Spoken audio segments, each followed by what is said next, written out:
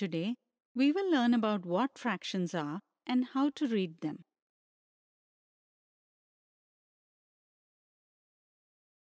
Without realizing, we use fractions several times in our daily life.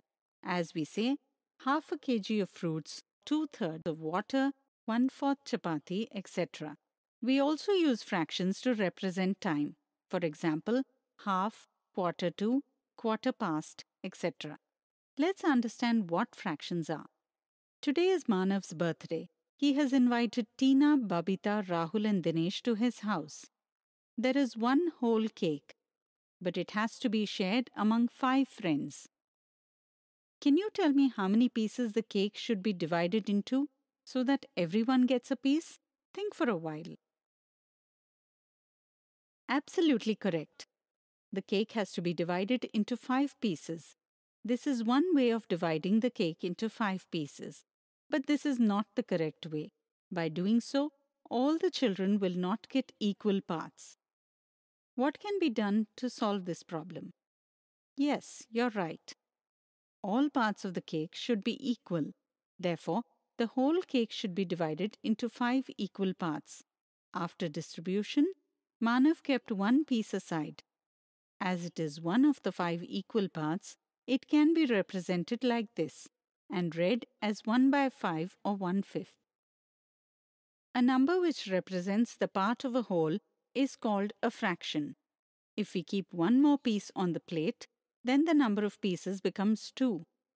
Since there are two pieces out of 5, these two parts form the fraction 2 fifth of the whole cake. When we talk about any fraction, for example, 2 fifth here, then the line separating two numbers is called division line or by. Can you tell what does the number written below the division line represent? Think for a while. You've got it right. This represents the number of equal parts the whole is divided into. The number of equal parts to which a whole is divided into is called the denominator. The number of parts that are taken aside is represented above the division bar. Therefore, the number of parts that has been considered from all equal parts is called the numerator. In a fraction, the numerator is written above the division bar and the denominator is written below. It is not always necessary that a fraction represents a part of the whole thing. We can also use it for representing a part of a group. See here.